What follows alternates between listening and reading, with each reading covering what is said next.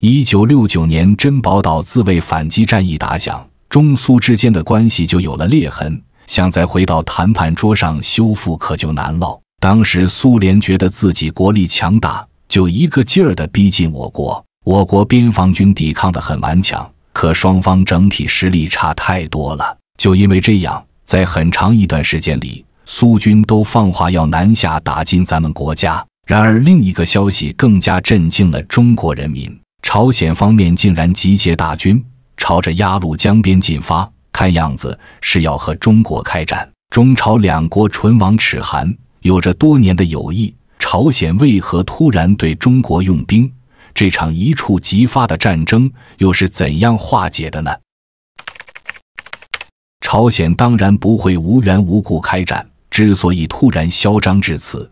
离不开另一个国家的挑唆，这个站在朝鲜身后的国家，便是早已和中国交恶的苏联。由于地缘关系的制约，中苏朝三国彼此间的外交关系长期以来都是互相影响的。苏联想要向亚洲扩张，就必须重视和中朝等亚洲国家的关系。但是，苏联拿出的外交姿态是不平等的。中苏蜜月期。苏联便明里暗里对我国内部事务插手，想要把新中国变成苏联安插在亚洲的棋子。但中国绝不可能成为霸权主义的帮凶。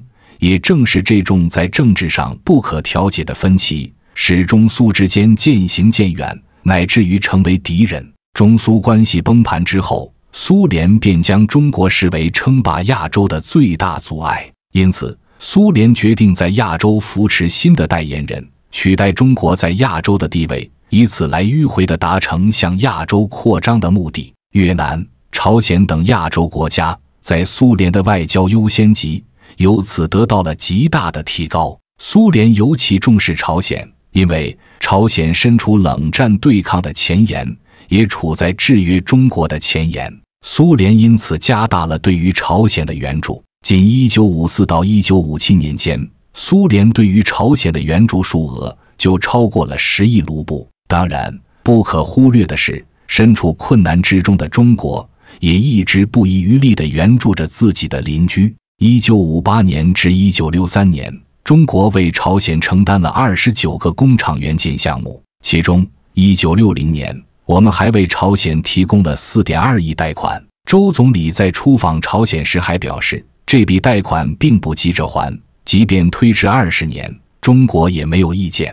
靠着中苏两个大国的援助，朝鲜在战后短短几年内奇迹般的实现了工业化。一九六零年，国际媒体报道时将朝鲜称之为远东经济发展的一个奇迹。然而，处于发展黄金期的朝鲜，却在政治上面临一个危险的选择题。当时，中苏之间的矛盾几乎已经公开化。双方在许多政治决策上互不妥协，而这也就导致朝鲜被夹在了中间。朝鲜的国力虽然远不能和中苏两国相比，但它偏偏有着极为重要的战略位置。所以，不管中苏任何一方，都希望能够争取到朝鲜的支持。对于朝鲜来说，他们本不想做这个选择题，因为长期以来靠着中苏双方的扶持。朝鲜的日子过得很好，继续维持着这种援助模式才是对朝鲜最有利的。所以在前期，朝鲜对于中苏之间的矛盾并不愿意表明自己的态度。但很显然，中苏之间的矛盾已经不可调和了。到了一九六四年，苏联新任领导人勃列日涅夫向朝鲜表明了态度，希望朝鲜能够和苏联站在一边。对抗中国，对于金日成的犹豫，勃列日涅夫也只有一个政策，那就是开出更为优厚的条件。苏联从领土和金钱两个方面对朝鲜展开了诱惑。苏联和朝鲜曾经秘密谈判过关于中国东北的归属问题。东三省自然是中国的领土，可是苏联对这块富饶的土地虎视眈眈多年。苏联也很明白，地处贫瘠的朝鲜。一旦有机会，也想要从中国这里得到些什么，所以苏联方面慷慨地表示，如果有一天中国真的崩溃，那么苏联愿意和朝鲜共同统治东北三省。当然，这话是痴人说梦，任谁都知道，中国不可能轻易崩溃。因此，除了这个空头支票之外，勃列日涅夫又开出了一些实际的条件，那就是针对朝鲜军事、经济等多个方面的援助。甚至，勃列日涅夫还大手一挥，决定免去朝鲜之前在苏联的贷款。苏联表示。愿意与朝鲜结为永远的盟友，这个诱惑就太大了。当时的苏联可以说是世界上最强大的国家之一，连美国都感受到了重重的压力。弱小的朝鲜如果能够长期依附于苏联，那今后的发展就不用愁了。要知道，朝鲜的日子并不安定，哪怕他们现在得到了发展的机会，却仍要面临内忧外患。南部的韩国、欧美诸国。都给朝鲜带来了巨大的生存威胁。当然，某些时候，作为邻居的中国也会被朝鲜视作威胁。所以，此刻金日成天真的相信，苏联真的会成为朝鲜的靠山。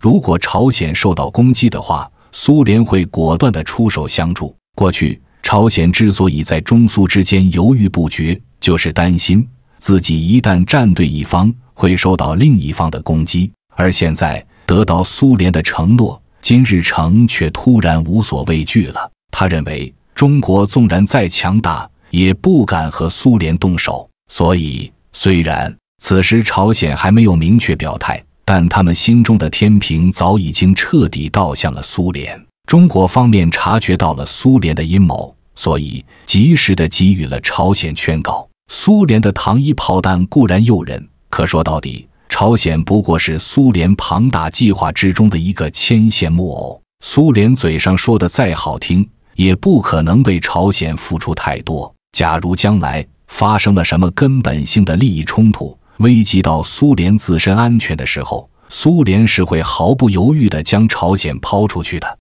到那个时候，被榨干利用价值的朝鲜什么都得不到，反而会使自己陷入国际孤立，因为一时的小恩小惠。而危及自己将来的发展，这完全是得不偿失。中国对朝鲜的劝告绝非危言耸听，而是多年与苏联交往得出的结论。一个国家只要沾染上了霸权，就绝不可能真心的去帮助另一个国家。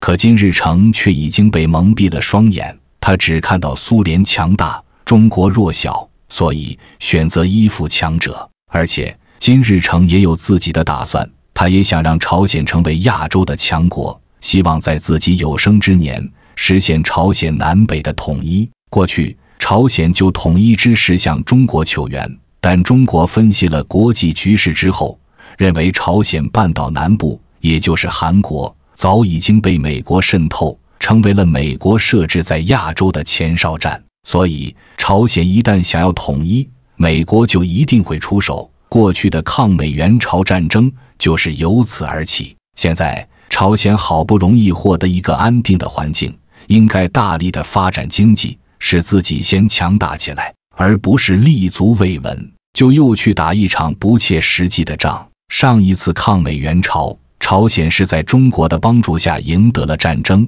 但再来一次，战争的结果依旧未知。但中国诚恳的分析却得不到朝鲜的赞同。金日成反而武断地认为，过去无法实现南北统一，是因为援助朝鲜的中国兵力不足。现在有了苏联的帮助，南北统一指日可待。就在这种种因素的推动下，朝鲜终于彻底倒向了苏联。朝鲜和苏联之间签订了多个条约，约定了此后双方互惠互利，同时在军事上提供援助。中国这个旧日的朋友则被遗忘了。为了讨好苏联，朝鲜甚至抹去了许多关于抗美援朝战争的记载。同时，他们配合苏联，开始在亚洲进行一系列的军事行动，企图染指中国的边境。这一切让中朝之间的友谊迅速地走向破裂。两国在边境线上互相喊话攻击，双方百姓甚至时不时地在边境产生冲突。唯一的赢家只有苏联。经过多年的筹谋。他们终于成功的瓦解了中朝两国。在这段日子里，朝鲜变得越来越膨胀。他们认为自己距离强国只有一步之遥了，所以他们在军事上也就愈发的大胆。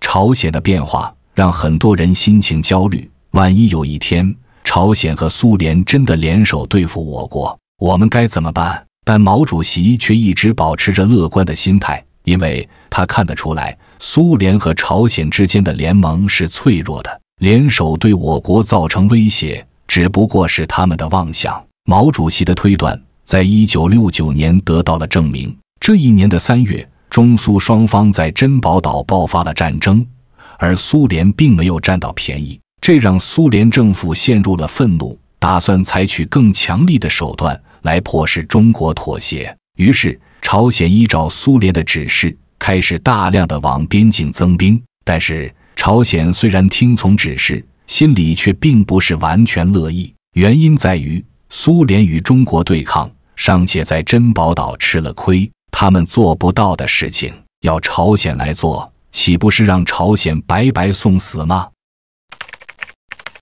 毕竟说到底，朝鲜对于苏联的忠诚是极其有限的。依附苏联为的是获取更大的利益。过去在军事上，他们也是一直跟在苏联屁股后面耀武扬威的。现在苏联在军事上没有下一步的大动作，朝鲜却有极大可能与中国爆发战争。朝鲜担心赔了夫人又折兵，所以在出兵之后就立刻向苏联求援。按照朝鲜的想法，苏联和朝鲜之间有约定在先。现在朝鲜已经出兵出力了，苏联就该积极的和朝鲜配合。但苏联的表现却十分消极，他们并没有增兵，反倒是有了从珍宝岛撤兵的意思，这让金日成大感失望。之所以出现这种变化，也离不开毛主席在背后的筹谋。从战争一开始，毛主席就定下了基调。